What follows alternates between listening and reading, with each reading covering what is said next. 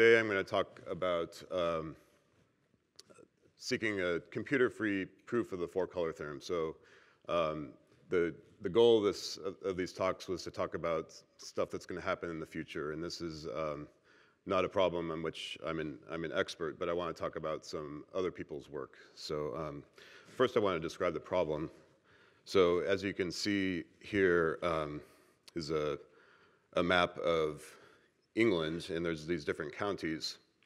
And um, in 1800, well, 1852, uh, Francis Guthrie um, noticed that while he was coloring the, this map of England with um, these counties, he could use just four colors. So um, if, you, if you look at this uh, map here, you can see that there's uh, just four colors used. Of course, uh, Wales and Scotland, I guess, are not included. But, um, and um, the properties of, the, uh, of this map is that the, each county is uh, one continuous region. And um, so they're not disconnected. Um, and each uh, county shares a, a, certain borderline between it, which is sort of approximated uh, mathematically by uh, an arc or a line. Um, and of course, counties then that are far away from each other, even though the color the same color, they um, are distinct, in, um, whereas ones that are neighboring have to be colored with, with different colors. So uh, that's, what, that's what I mean by uh, coloring a map. So it should be coloring with um, colors so that adjacent countries or counties or whatever you're coloring have, the, have different colors, but ones that are far away can have the same color. And so um, Francis Guthrie was not a mathematician. Um, he was a, a, lawyer, I believe. But um, so he published this problem in um, the Athenaeum uh, in 1954. Uh, sorry, 1854, and um, he had a little uh, blurb on tinting maps, which I've blown up here. So um, he says that in, in, tinting maps, so tinting, I mean, means coloring. Um, he wants to use as few colors as possible um, so that um, it satisfies the properties I was just saying. And he's found by experience that four colors are necessary and sufficient for this purpose. And he couldn't prove this, but he wanted to know uh, whether this is true. So he advertised this to the world in, um, in this little short little note here. And um, he also uh, com communicated it to um, to some mathematicians who then um, were, were interested in this problem. And um, in 1879, then um, Alfred Kempe published proof of the four-color theorem in the American Journal of Mathematics. He wasn't a, um, a professional mathematician. And then uh, just a year later, um, Peter Guthrie Tait published uh, another proof, somewhat different, um, in, in the Proceedings of the Royal Society of Edinburgh. Um, then in um, 1890, uh, Percy John Heawood published an article that refuted Kempe's proof. So um, about 10 years later, it was found that it was actually wrong. And um, you know, the math literature is, is not completely reliable, although I would say it's much more reliable may, maybe than many other sciences. Uh, that's not a, I'm not trying, it's, it's not a dig, I'm just saying that um, we're, It's the nature of mathematics, I think. And then in 1891, um, Julius Petersen also refuted Tait's proof. So, um, so after these failed proofs, then the four-color problem became sort of notorious and attracted the attention of a lot of uh, mathematicians. Um, David Birkhoff, one of the, the first well-known American mathematicians, Hassler Whitney, and William Tutte. And um, in some sense, attempts to, to solve this problem led to the development of uh, fields of, of mathematics, um, like graph theory and um, topology and combinatorics. Um, so I wanted to say a little bit more about this, uh, this problem. So um, a proof was uh, made in, in 1977 by um, Appel and Haken. So that's um, uh, two mathematicians at the University of Illinois at Urbana-Champaign. Uh, Wolfgang Haken is actually the same name, the same mathematician as you heard in the introduction, this uh, virtual Haken problem that I worked on before. He was a, a topologist studying um, three-dimensional spaces and then uh, turned his attention to this um, coloring problem in the 70s. And the, the proof, though, was very unconventional for mathematics up to then. It made use of extensive uh, computer checking. So there was thousands of cases to check, and um, th this was this was done by, or, uh, by computer, and there was uh, 100 pages of um, 400 pages of microfiche supplements that were checked in the summer of 1977 by uh, Wolfgang Haken and his, his daughter Dorothy Blostein, who was then an undergraduate. So um, the, the reliability of the proof was relying on all this extensive checking of case-by-case analysis. I d- I don't want to go into the, um, the mechanics of the proof. Roughly, it's that you um, had a, a map with um, a bunch of different countries, and you showed that there's certain configurations that were unavoid- unavoidable, and in which if you could um, find a coloring of, of, of, that map if you could find a coloring of a certain smaller map, and there was a whole bunch of cases to consider. Um, and um, I guess I, have heard that Haken compared the, the proof to sort of an engineering thing where there's possibly lots of different proofs, and you just had to find enough configurations. There was a lot of different ways, but to combine them in some way that made a proof, and um, there it, was, it could be many different proofs of this flavor, and indeed um, some errors were found in the original proof, and then a revision was made, and the proof published um, in 1989 as a monograph.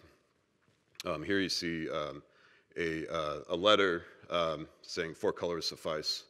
So that was um, celebrating the, the, the, proof of that, of, that, of that theorem in the 70s.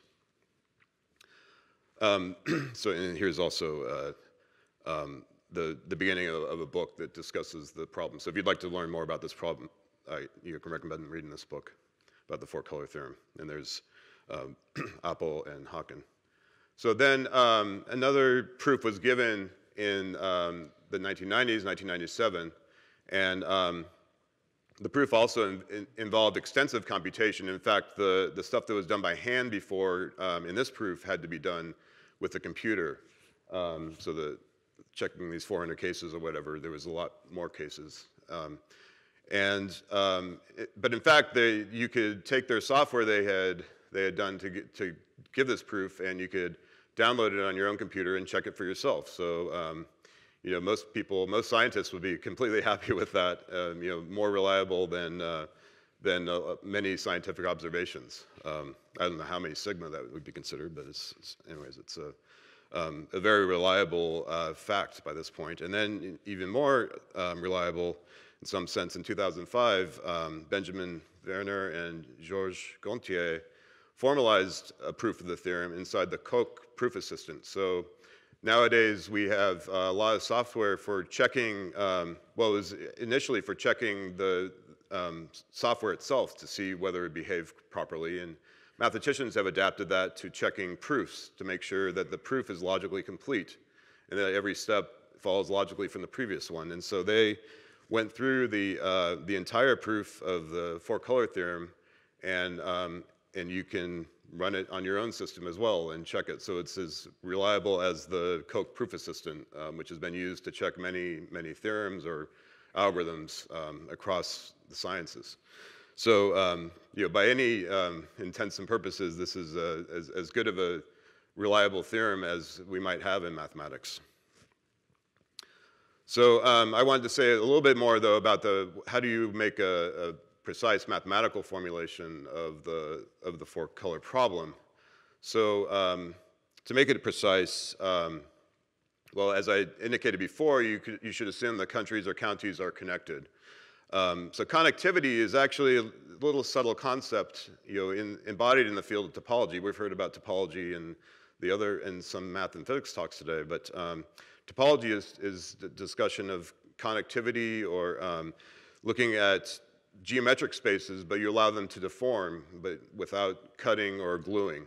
Um, and this, this robustness of deformation. So if I have a, of a map, I can deform it a little bit, and uh, as long as I don't um, change the connectivity of the countries or, or counties or whatever, and um, I can you know, make the line straight or something, you're still going to require the same number of colors. So the number of colorings of a map, for example, is a topological invariant of that map.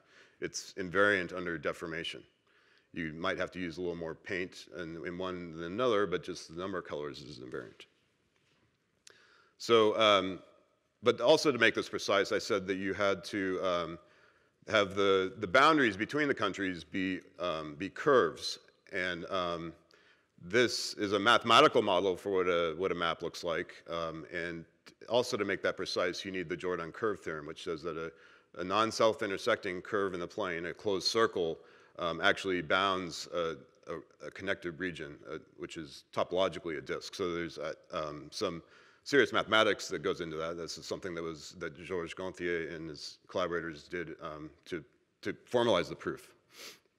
And anyways, the mathematicians then knew for a long time how to make this problem into a, a well-defined mathematical problem. So it required a little bit of topology, some classic topology from the um, 19th century.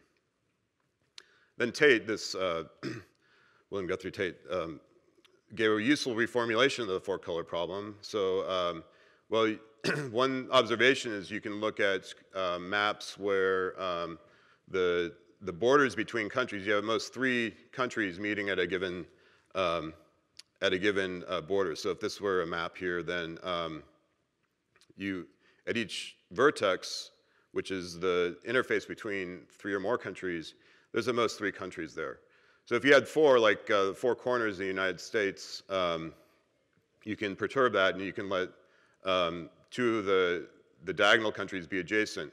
And if you can color that map, then you can color the one in which um, there's four corners there because there's um, you know, fewer, fewer constraints. There's um, fewer borders between the countries. And so it's even easier to color with four colors.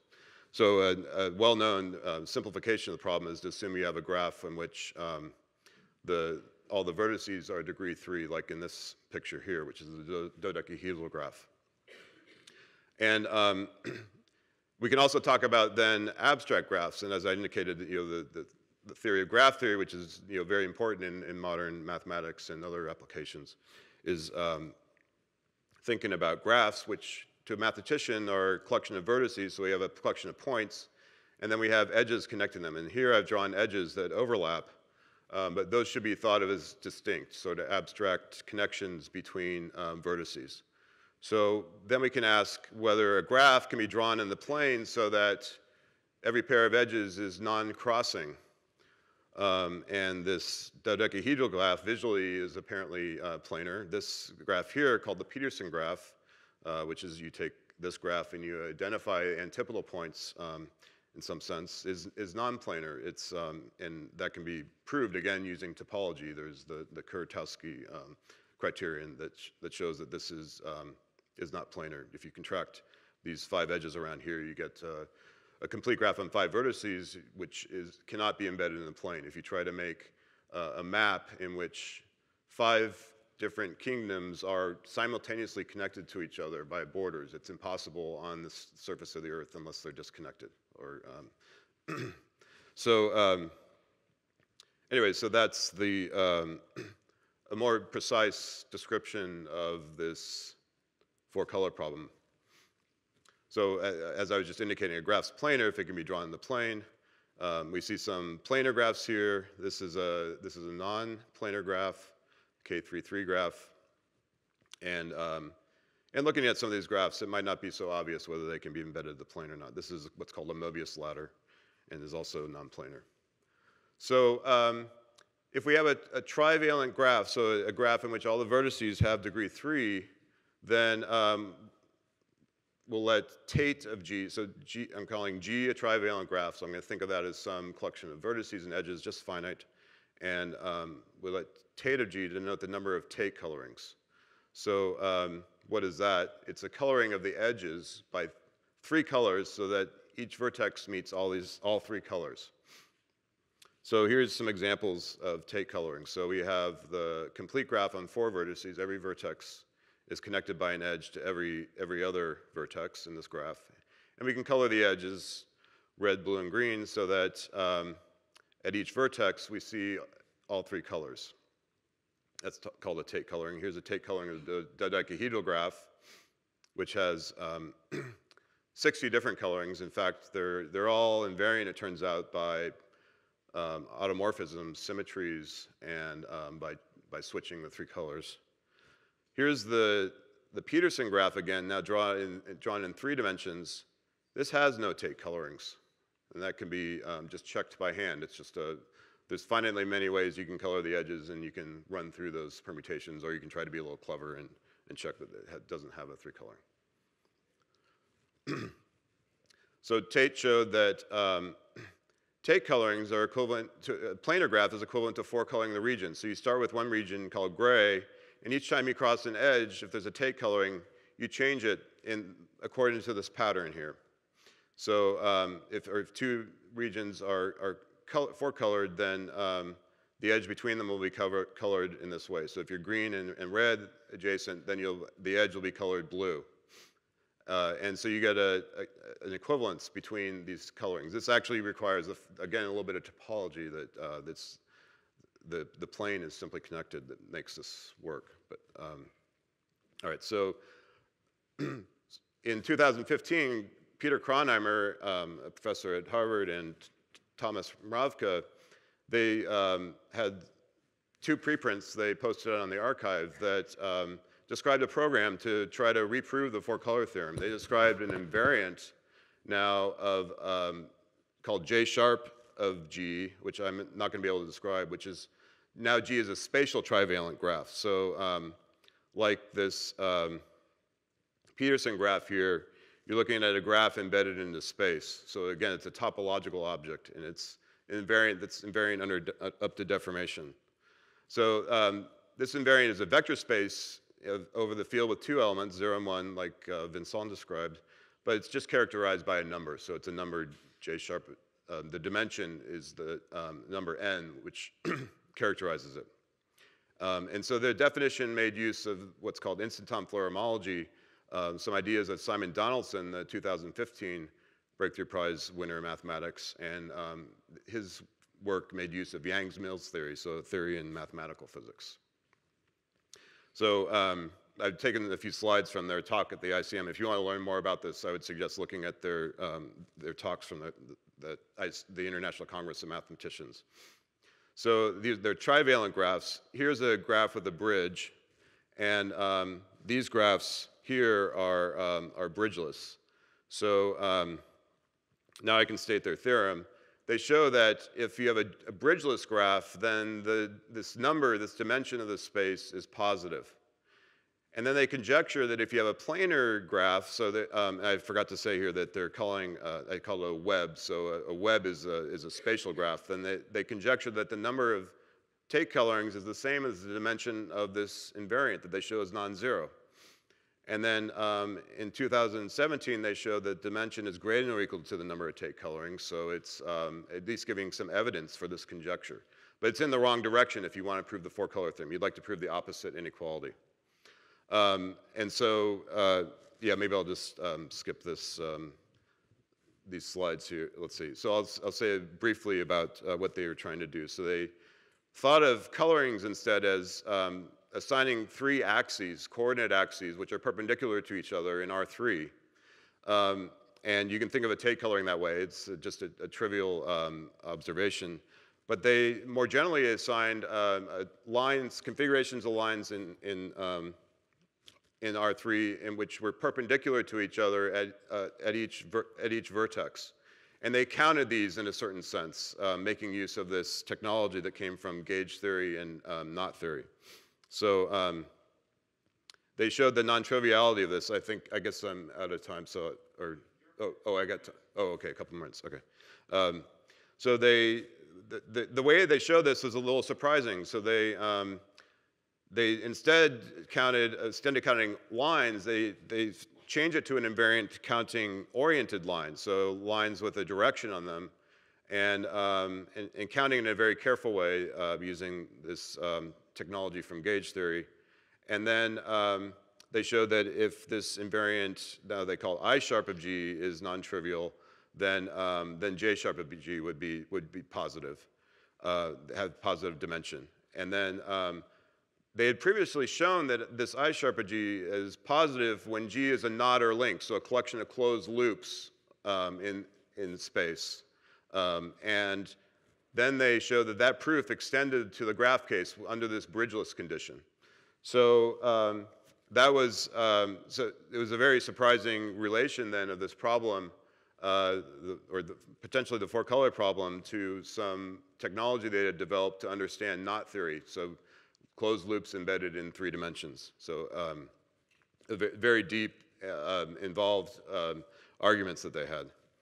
So um, their conjecture that these two quantities for a planar graph are equivalent would imply that any bridgeless planar graph has a Tait coloring. I forgot, forgot, to say that it's also known that if you have a planar graph with a bridge, then the number of Tait colorings is just zero. And then that would imply that it, the regions of the planar graph can be four colored. So um, that would give an, another proof of this, um, of this four color problem if this conjecture holds true. So th th this is a motivating project. I'm sure they're hard at work on it. Um, and I think other people are, are, thinking about this. I've been running a seminar on it, trying to understand what they've done. So um, the, the main difficulty then um, is that they don't really have a, a, method of computing their invariant J sharp of G.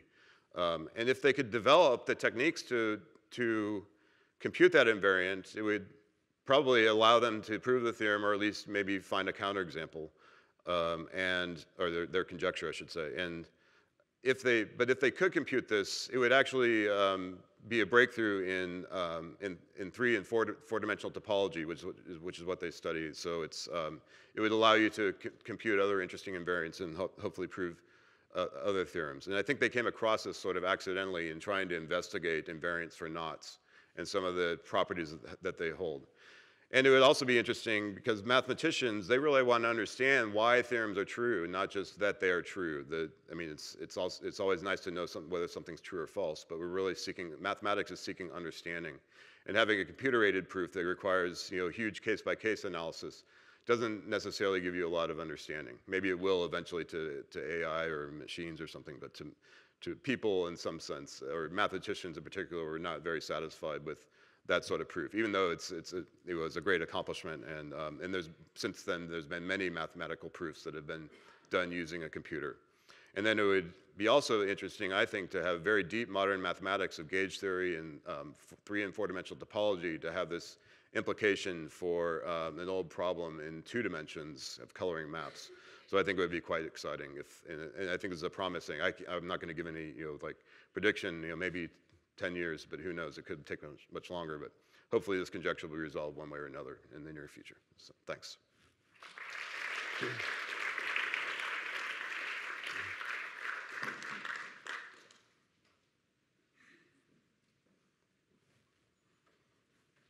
Just, just to put in a clarification, that very first map you had on there, there were yeah. the white provinces you actually couldn't have colored with the four colors because they were abutting four other colors. But I assume then if you wanted to include those, you just have to change the colors of the other things? Let's see. It looks like so, yeah. So, like Scotland, I think you have an, uh, another color, but yeah, it looks like it looks like there's uh, four things abutting. No, I think you can make well Wales red.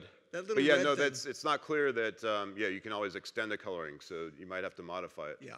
Um, there's certain situations where there's very simple, I realize there's very simple proofs of the four color theorem. If you assume that every country has at least six neighbors, which is not a usual thing, but um, then actually you can find a very simple proof that um, doesn't need any computer checking. But that's not a, in general, the problem is that you'll have countries that are, have very few neighbors, and that makes it more constrained and harder to color in some sense. But yeah, that's, um, that's a good observation. Uh, I have a question. In your opinion, what's the practical significance of number four? Uh, why there are four colors? Suppose we need five colors or six. What would change in the world if it would be yeah. not four?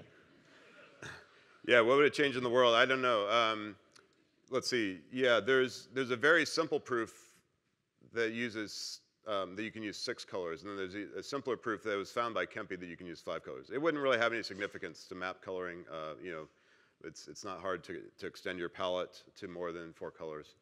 Um, it's, it's more just, in, mathematicians are intrigued by old unresolved problems, and this is a problem that was just turned out to be hard and um, it, you know, incited a lot of interesting mathematics and work.